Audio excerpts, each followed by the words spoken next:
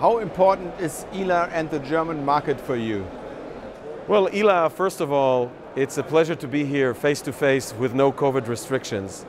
Uh, Rafael has been always a participant in ILA, and because Germany is a strategic market for Rafael, it is very important for us to participate in ILA. It allows us to meet with customers from Germany, partners from Germany, but also to discuss international business. What is your main mission here in the German market? Well, this year, uh, after the COVID and a lot of innovations have happened and, and new stuff has happened uh, for Rafael in Germany, uh, it allows us to meet with uh, our local partners, with Diehl Defense, with our uh, local subsidiary Dynamit Nobel Defense, and other partners that play a very important role with us in Euro Trophy and Euro Spike. These are joint ventures that we have that are based out of Germany. With the German customers and communities, we have a lot of stuff that are of focus.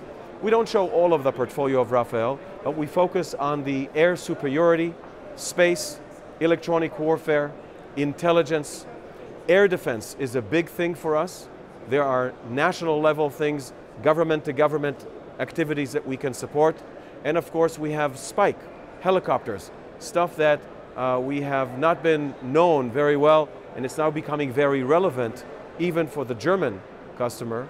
And also we have aeronautics group, the ones who bring the uh, UAVs. So we believe that there's a lot of, uh, a lot of uh, systems that we can share and we can provide into Germany. Are you happy with the cooperation with KMW and the other corporations here in Germany? Let me first relate to our strategy. I think it's very important to understand that Rafael thoroughly understands the value of cooperation and uh, at the industry level. So industrial cooperation is not just a slogan that we say, but it's, it's really a strategy of how we operate. We own DND, so DND is really part of Rafael, but it's completely German.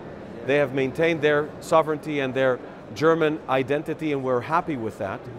But in the trophy, the active protection system for the Leopard, we work with KMW and General Dynamics, Europe.